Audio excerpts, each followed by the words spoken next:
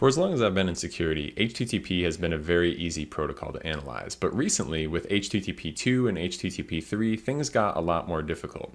Now, if you've never seen these protocols before, it may be because they're normally encrypted, but if you ever decrypt traffic and look at HTTP 2, it is wildly different than the previous version of HTTP. If you haven't analyzed HTTP before, go back to the previous episode and learn the fundamentals before watching this video. And if you're ready, let's dive in to HTTP 2.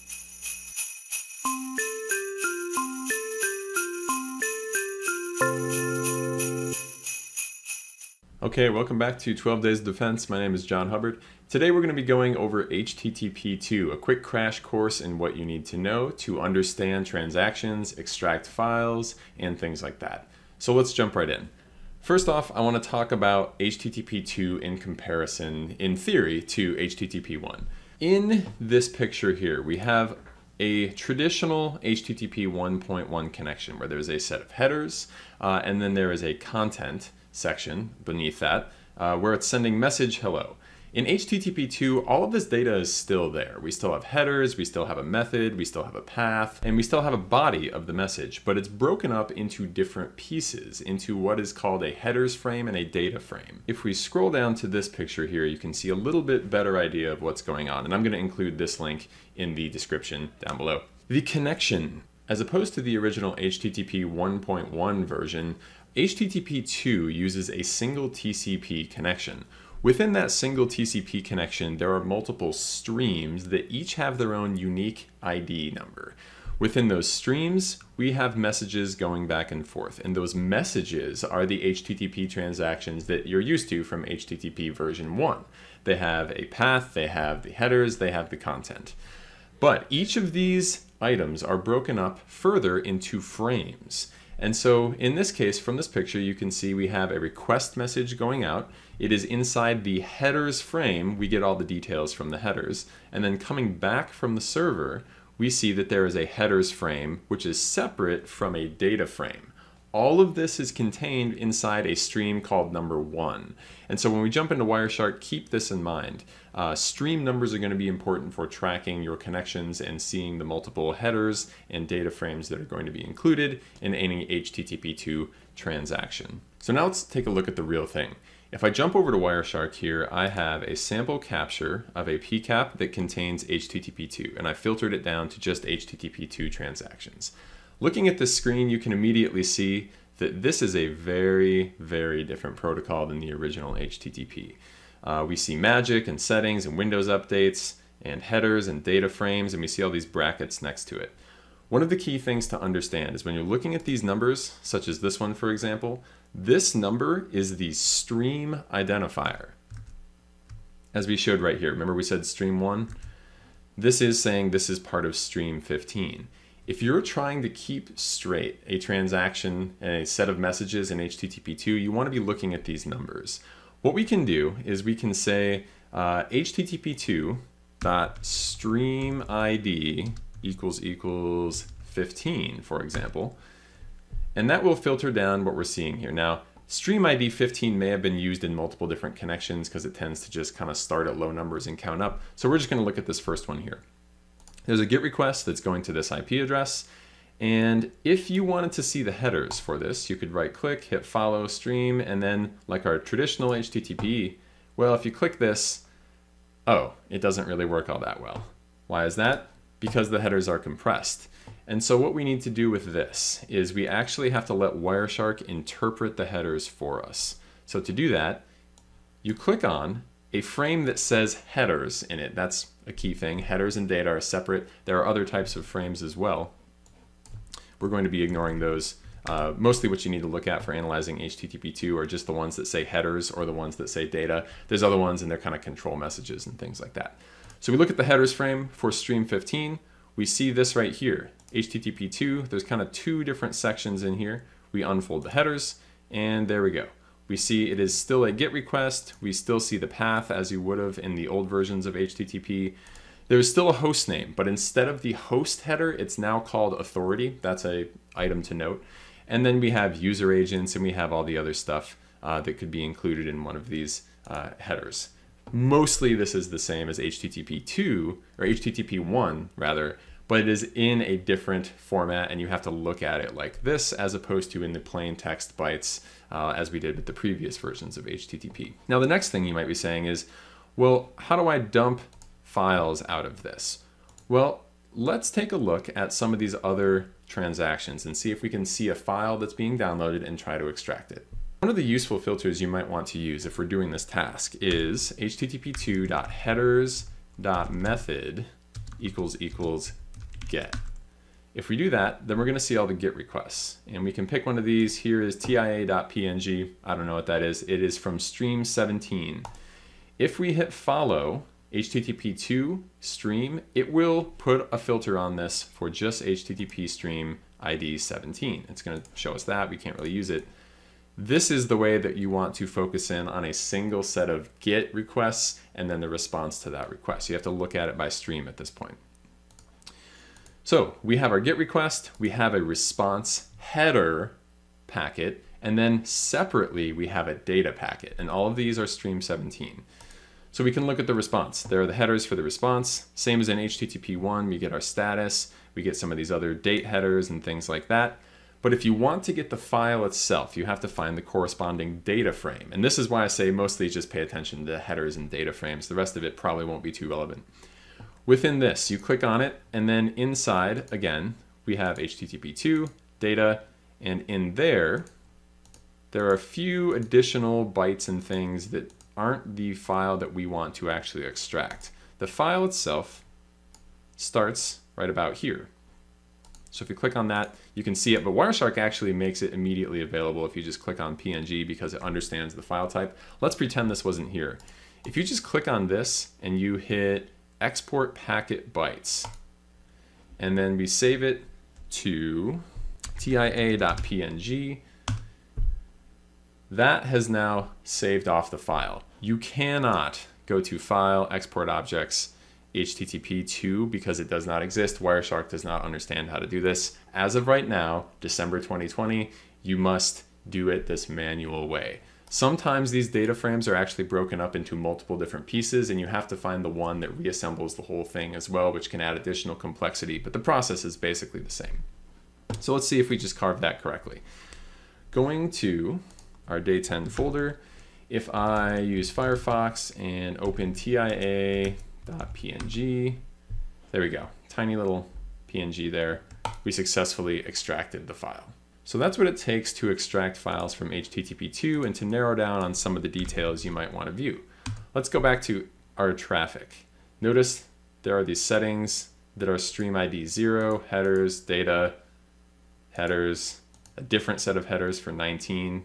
Let's say we wanted to look at stream 19, stream ID equals equals 19. There we go, we could focus just on this and you can see Again, headers, data, headers, data, headers, data. Let's say you wanted to filter it down just to frames that were header frames and data frames. You can do that too. HTTP dot uh, HTTP2 dot header or HTTP2 dot data dot data. That will show us everything in the capture that is just headers and data frames. That can be a useful thing you might want to look at. Beyond that, if you want to filter out any other specific header, you generally can address it by the name that you see when you unfold these headers frames and scroll down. So if you wanted to filter down something by authority, uh, conceivably you could do that as well by using http.header authority. And then if in this case, if you wanted to filter it down to Google, you could say consent.google.com. And there you go. So if you're looking for all the traffic from a single domain name, you can do that as well. That could be useful too. This is just looking at normal HTTP2 traffic.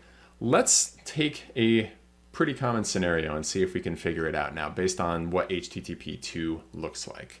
What I did was I went to a phishing site and I captured traffic as I entered credentials as if I were a user falling prey to that phishing site.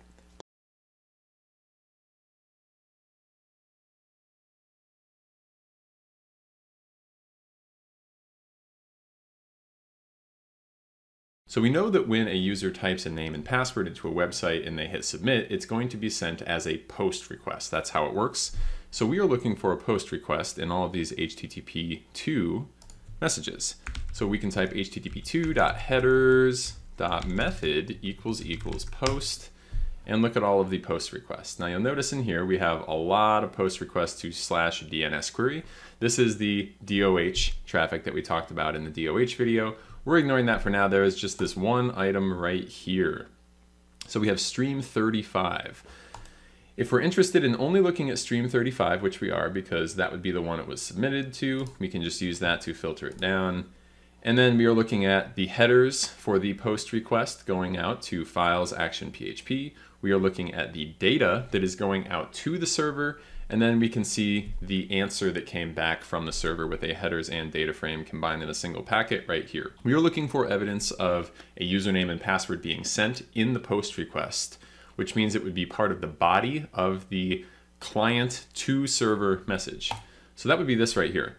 If we click on this, we can then unfold these items here. This is what it would normally look like. We can click on the data section here, but it actually has it broken out here as a separate HTML form URL encoded set of data, and it interprets it for us. There we go. That is exactly what I typed into that website. Username, my username, and password equals my secret password. With this, you can also see in the headers frame, the user agent, the URI, and all of the other details about this. What came back from it? Well, we can look at this frame here. And we can see it was an Apache web server. We see some dates and we see the data stream that came back, which just so happened to be what looks to be a gzip encoded bit of HTML. We can go down to here and see that what it gave us was status okay. So that is our post request going to the phishing site, and that is the workflow you'll have to use for HTTP 2. Depending on whether you're wanting to extract a file, it's a little bit different than HTTP 1. You have to manually carve out the items by kind of unfolding these data frames. If you're looking at headers, you have to look at a header frame. If you want to filter it down, uh, the easiest way to do it is usually by the stream ID and then narrow it down to the data or headers frame you're interested in or the method that was used. And with this kind of information, you can export and analyze HTTP2. It's just a little bit different than what you saw before, but all the headers and everything else still apply. One detail I want to bring up is what if you want to dump every single file out of this capture? In the old HTTP, you could go to File, Export Objects, HTTP, and then it would give you all of the things that were in the entire capture and you could save them out. Since this does not support HTTP2 file automatic carving, you need to do this in a different way. In fact, you actually cannot do it at all with Wireshark, at least right now.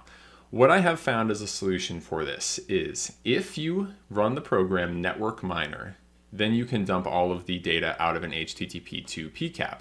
The caveat to that is the PCAP has to be unencrypted. So if you are taking pre-master secrets, you're telling Wireshark to apply those secrets to a encrypted PCAP, that actually won't get you where you need to go. So if you want to do HTTP traffic and then you want to carve everything out of it, this is the process I found that you would have to follow. There is a tool that you can get called Polar Proxy.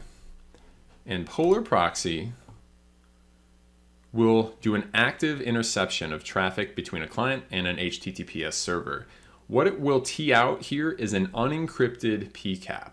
So if you want to dump all the files out, you would need to set up Polar Proxy, tell Firefox to use Polar Proxy as a proxy, and then let Polar Proxy save a PCAP file for you.